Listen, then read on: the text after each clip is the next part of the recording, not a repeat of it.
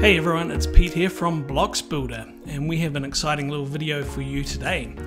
Uh, today's video is inspired from a user on the forum who has asked about hovers, and in, in particular, they reference this website here, where you have full size hover, I guess you could call them blocs, where we have a full size image, and as you scroll down, the cursor comes over the image, the image zooms, we get a tinted overlay and some text appears and I've done that block after block and it's actually really straightforward to make this effect in Blocs and I'm going to show you how to do that right now. So I have here a very basic Blocs project. I just have some um, filler content at the top and the bottom so we can scroll later and our main working bloc is this one here with one column in it. And what I'm going to do here is I'm going to add a div into this one column to start our basic structure. Actually, I'm going to add three divs in here. So I'm going to add a div within our div, and then I'm going to duplicate that one. So we have a structure of a wrapping div, and then two divs inside that one. And I'm going to give each one of these a custom class. So our main wrapping div, I'm just going to call it awesome wrapper. Our next div, I'm going to call that awesome image. And our third div, I'm going to call that awesome overlay. Right, so that's our basic structure out of the way. Uh, let's start styling. Now, coming back to our awesome wrapper, I'm going to set a width of 100%. And I'm going to set the height to auto. So you can actually just tap the A key there. So you need auto pixels. Um, and the other thing we want to do under the positioning tab is we want to set our position to relative and that's really important for the overlay aspect to work. Without um, this needs to be set as relative and your overlay needs to be set as absolute for it to work properly. Okay that's it for the awesome wrapper and we'll go now to the awesome image. Right so we're going to set our width to 100% Um, just for now, I'm going to set the height to 500 pixels for us to work with, and then later on we'll change that.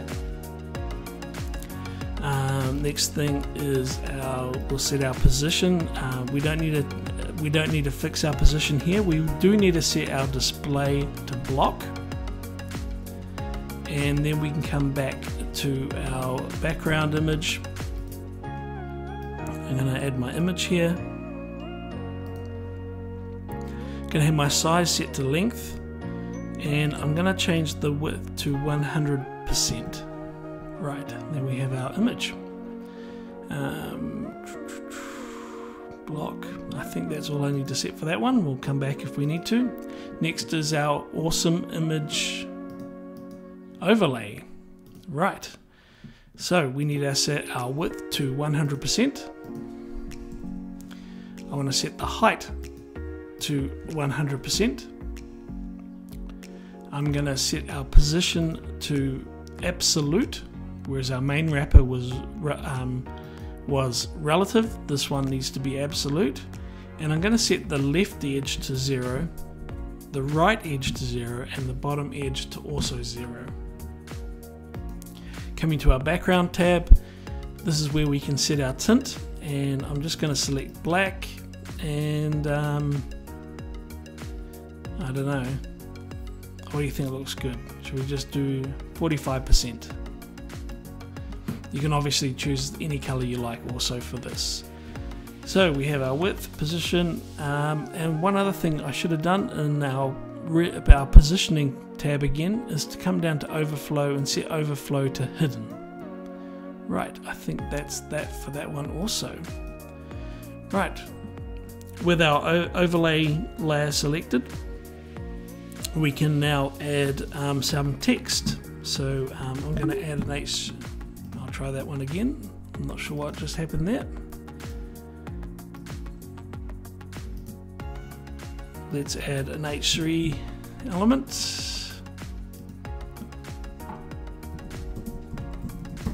Give that some text. Now we want to position this text in the middle um, vertically and horizontally. So one thing I might do first is let's give this text a nice white color. But we can come back to our awesome overlay. And under positioning we can set the display to flex. So we can use flex to position our text here. Display flex which means we can now use our flex tools. And we just want to set the align and the justify to center. And there we have our text in the middle. Actually there's a really cool uh, bootstrap class uh, for typography where, which is called display 1 2 3 4 5 depends on the size you want to set. I'm going to select our text to display and maybe call it 4 display 4 nice. If we preview this, there we have our image, we have our, our nice tint, and we have our text in the middle. But what we want to do, um, what I tend to do when I'm designing these, is in the design mode like this, I have it all visible so you can play around with your design. But when you go to preview it, you want our over we want our overlay and our text to actually be invisible. We don't want to see it. So what we're going to do now is start styling all that in our page header between some style tags. So we come up to our page header, create some style tags.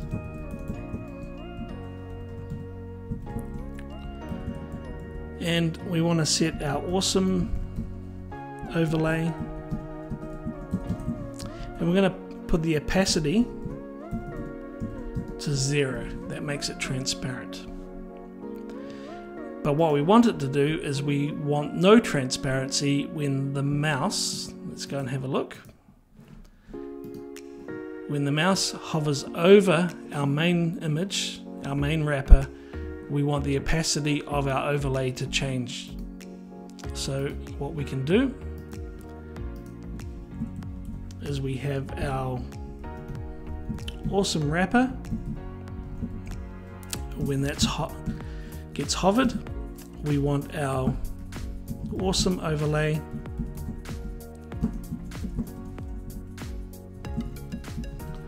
opacity to be 1.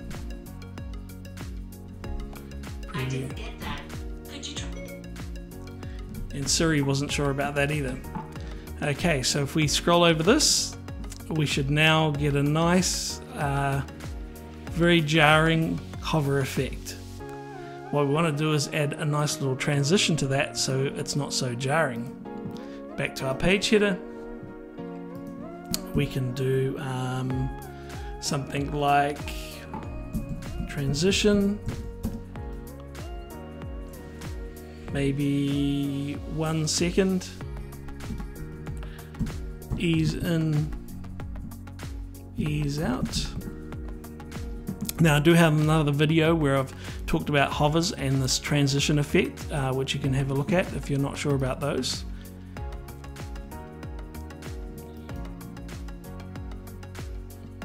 Okay, that might be a little bit too long, but we also want to have a transition when we come off rather than it just jarring like that. So what we can do is let's drop the length of uh, this from 1 to maybe 0.7 of a second and we're going to copy that transition also to our overlay one up here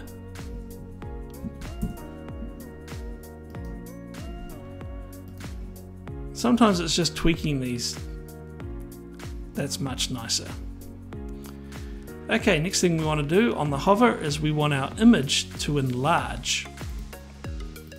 Back to our page header. And uh, again we can actually copy this awesome wrapper hover.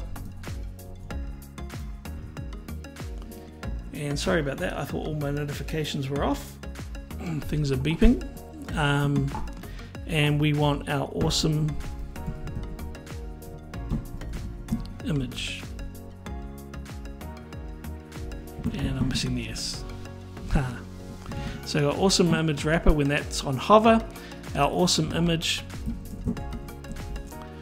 We want our background, because it's a background image, we want the background image size to become 110%. Let's try that.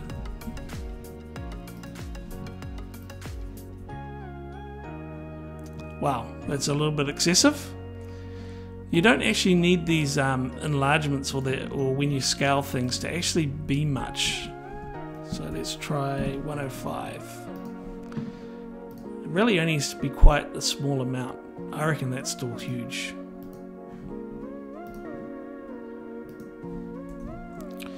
And how about we add the same transition that we've done here?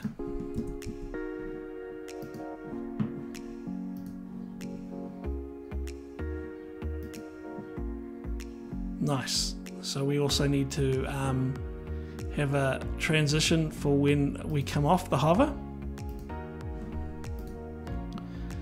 So we need to create our awesome image class. And we're just going to copy this same transition.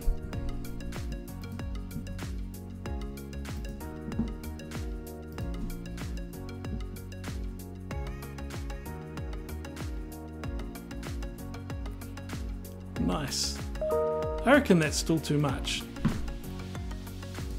Let me just quit out of these apps that are ignoring my um, notifications turned off. Sorry about that. I'm going to change this. Um, where are we? Our image.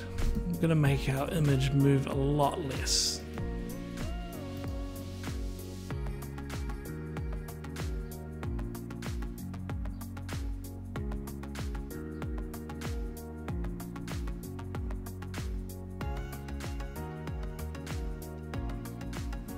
Sometimes it's just tweaking, and I don't want this video to take too much of your time.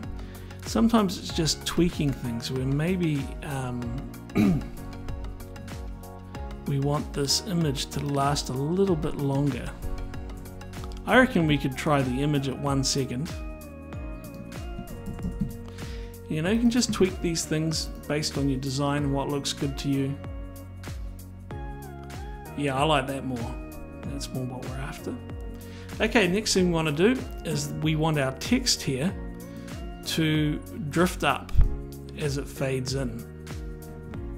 And we actually want that to probably fade in a bit slower too.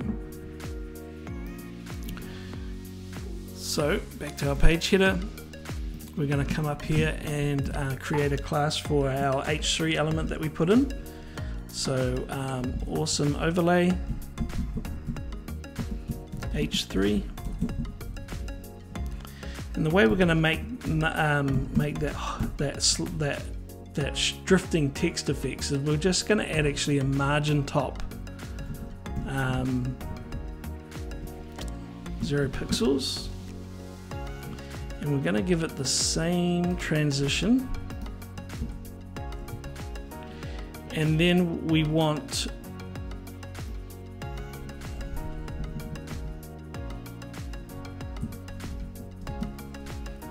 that to happen on our off, uh, on our hover also. Actually, can just copy and paste this. So when our wrapper gets hovered, we want our, our margin top. Um, actually, we want that one. I think we want this one to be zero pixels. Just copy that transition. And I think we want our starting one to be minus, let's try 40 and see what that looks like.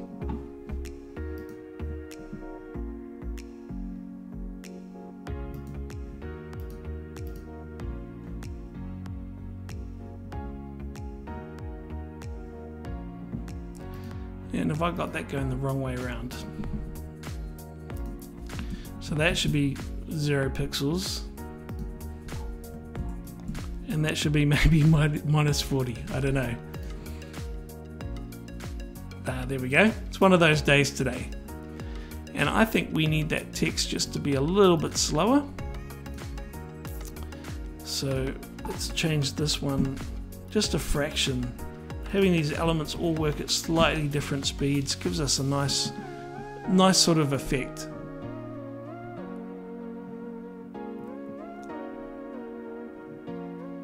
Cool. Right, there we have it. So this is within a confined area at the moment, um, and you can use this in all sorts of things, this technique on cards, all sorts of things. Um, but what we're going to do is make this a full-size bloc now. So making sure we've got our bloc elements selected, I'm going to make sure that the padding is set to none for our bloc and I'm going to make sure that our, our bloc width is set to full width and we need to, if we go and preview this, we'll find that it's kind of very narrow. But we want to make this bloc full screen size. So we can do that coming to our awesome image class. And if you remember earlier we set the height to 500 pixels. What we're going to set this to is 100 VH or 100% vertical height